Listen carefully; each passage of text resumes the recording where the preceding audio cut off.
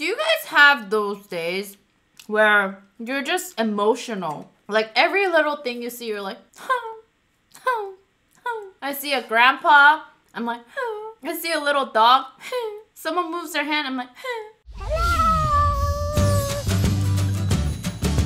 Hello, my honeybees. It's your girl Honey, and today I'm gonna be eating spicy beef noodles and dim sum. So let's dig in, cause I'm so hungry. Cheers, Xiaolong Bao. Mmm. So xiaolong bao is a soupy dumpling. Usually it comes out really hot, right? So when it comes out, you wait a little bit, you bite the top off, and then you drink some of the juice in there, and then you eat the dumpling. Isn't it so cool how some soup stays in this dumpling? Next, let's try our beef noodles. Mix it together. So this is a Taiwanese dish. And I remember when I lived in Taiwan, this is anything with minced pork was my favorite. First bite, honey bite.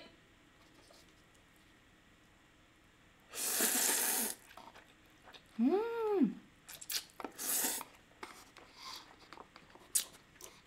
Mmm. I remember that flavor. Mmm. And I have spicy wontons here.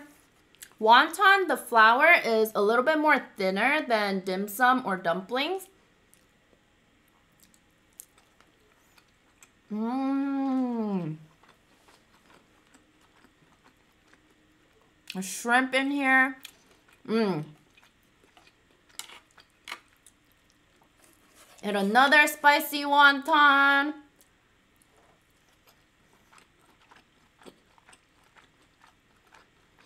Mmm. Let's try this pork bun. I don't know if you guys know, but I'm a chili oil fiend.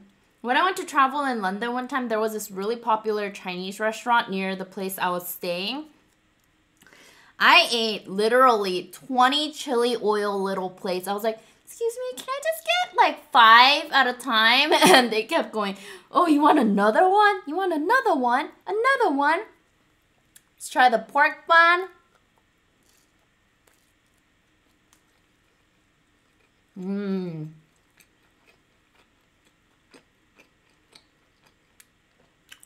These pork buns, I remember eating them in Taiwan. When you go to a 7-Eleven, they have these buns, pork bun, shrimp bun, chicken bun. I think Asia has the best convenience stores. I came to 7-Eleven here and I was like, what that? In Korea, you can just eat at the convenience store. Pour some hot noodles or put your hot frozen food into the microwave and eat it there.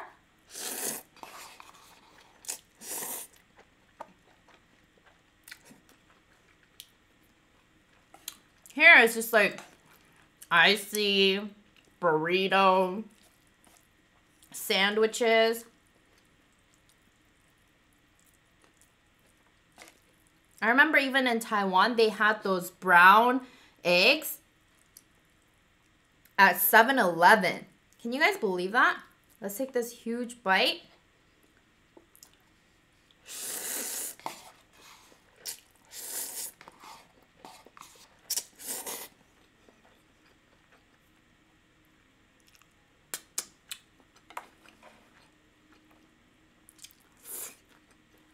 Get some pork and veggies.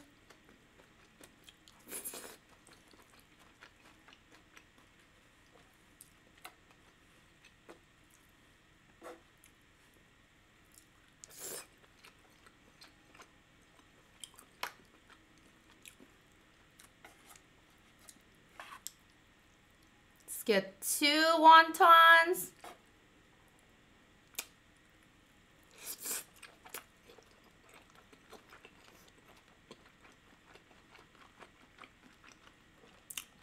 You know what's best with chili oil?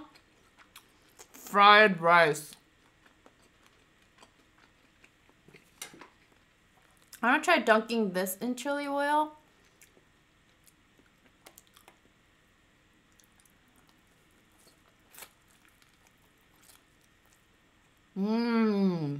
Never disappoint.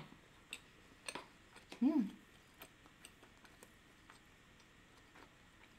So some of you guys know and some of you guys don't know that my brother had brain tumor before. And some of you guys ask, Kenny, what is it like living with your brother B?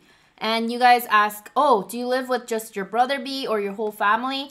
I live with just my brother B.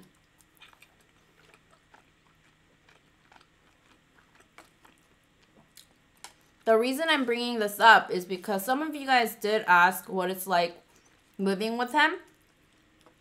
And because I went to go see the neurologist today with my brother. Guess what, guys? Because of what's going on in the world right now, because of the virus, they wouldn't let anyone else other than the patients go into the hospital, which is very understandable. But I really wanted to be there because my brother has been really forgetful ever since he had the surgery, and I wanted to know the reason why.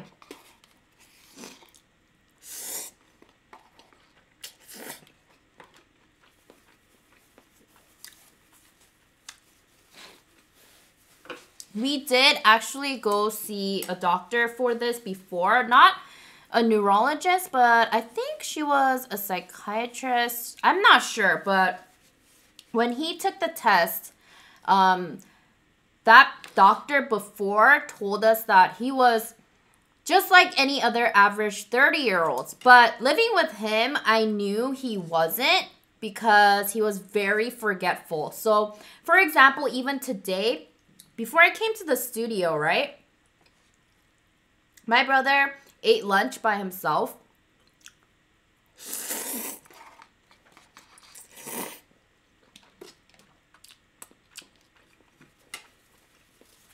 You know, we had leftover fried rice and Thai food. So I told him to microwave it and take care of lunch by himself, right? And I come to the kitchen and what do I see? An empty box from the fried noodles that he ate and then the See Ew Thai noodles on the bottom which he didn't touch. And I was thinking, how come he left this out here when he didn't finish eating the noodles? So I asked him, hey brother, how come you left the noodles out and you left the empty fried rice box out? And he goes, Oh, I forgot. So it's kind of like those little things that he forgets. And sometimes he actually forgets to turn off the stove, which is really dangerous and which is very concerning.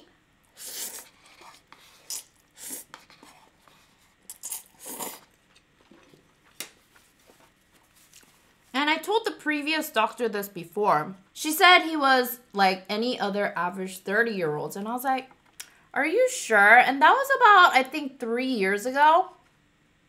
And I haven't seen any improvements with my brother, right? So I asked my brother's main doctor again. You know, he's been really forgetful. I'm concerned. I've been trying to help him. And so he signed us to a neurologist and we finally saw him. Because I couldn't go in, they virtually called me and I I felt like I was in the room. He put me on the speaker. He did the test with my brother so that I could also hear what he remembers and what he doesn't.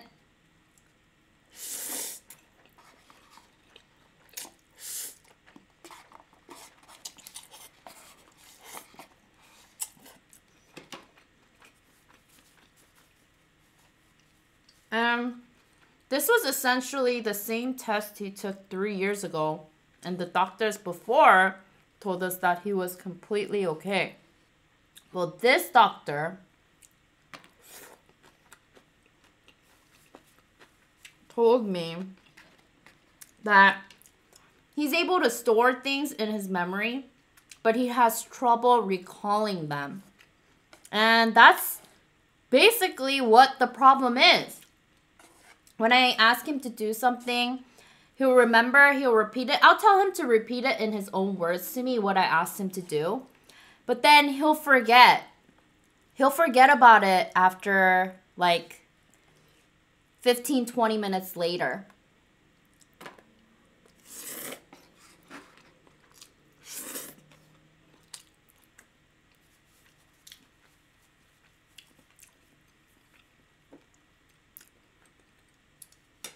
Once this whole quarantine is over, we're going to have to scan his brain and see what exactly is wrong with his brain because his MRIs came out clean, but we don't know what's going on and why he has a memory loss. The doctor said he might be having minor seizures before he falls asleep, which completely wipes out his memory while he's sleeping, which I think might be what it is.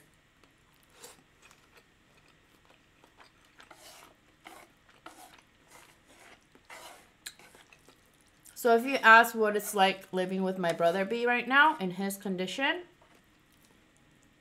I have to remind him and ask him and check up on him every time if he did this, if he did that, or if he finished this, if he finished that. And I have to always check after his traces.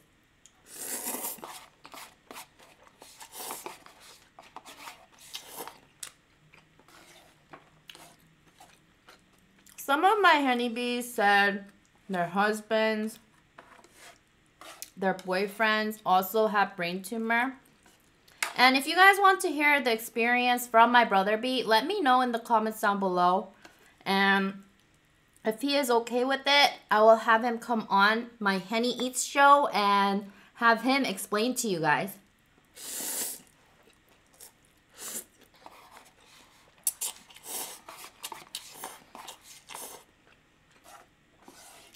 I really hope that we can find the exact reason why he is having this memory loss. So please pray for us, honeybees.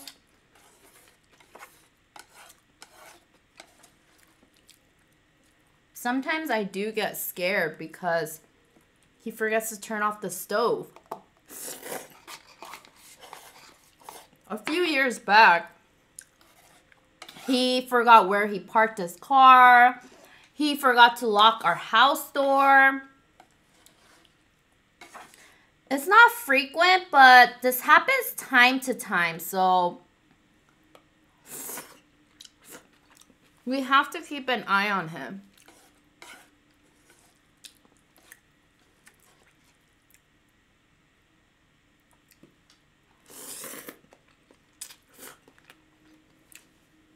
Oh, my Xiaolong Baos are waiting for me. They're like, eat me, honey, eat me.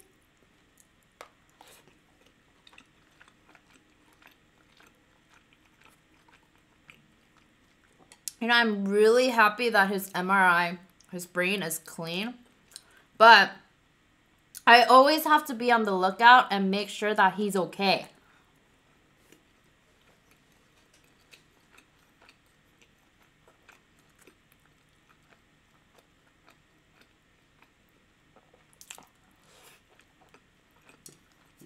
Mm. Do you guys have those days where you're just emotional? Like every little thing you see, you're like. I see a grandpa, I'm like. I see a little dog, someone moves their hand, I'm like, I recently came across this video where this grandpa would always hold a picture of his wife and fall asleep. And so one of the volunteers made him a cushion out of the picture. And he saw the picture of his wife on the cushion as he started hugging it. He's like, ah. he started crying. I started bawling. I'm like, ah.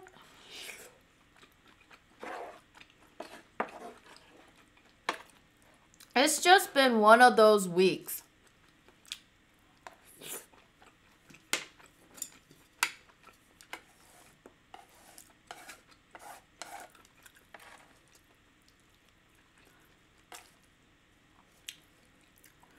What do you guys do when you guys get sad or emotional? Let me know in the comments down below.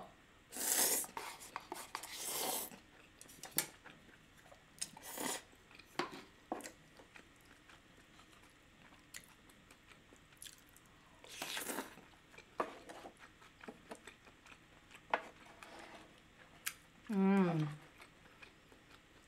This would be good with rice.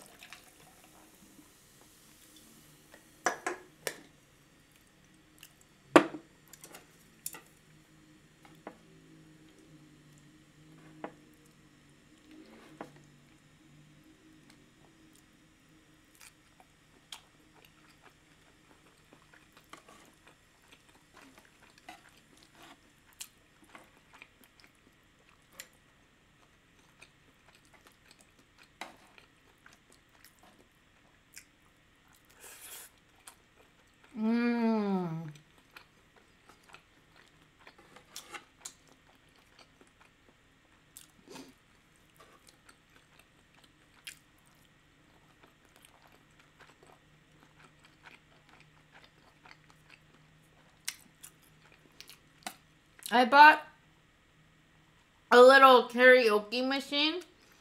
And when I'm sad, I love listening to music and singing along.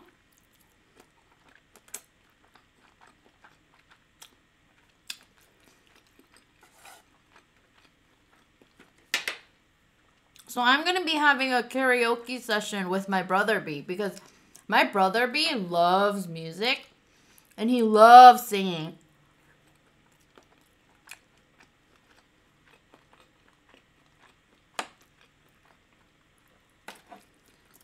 And he loves IU, the Korean singer.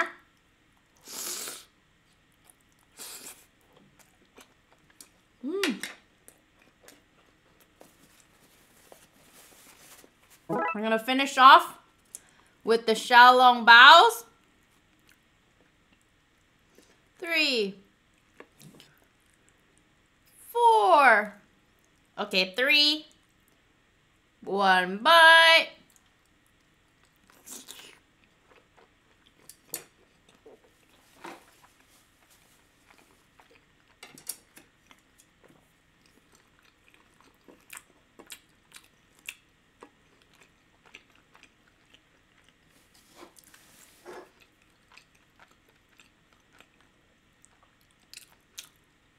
Stay safe and stay healthy. Cheers!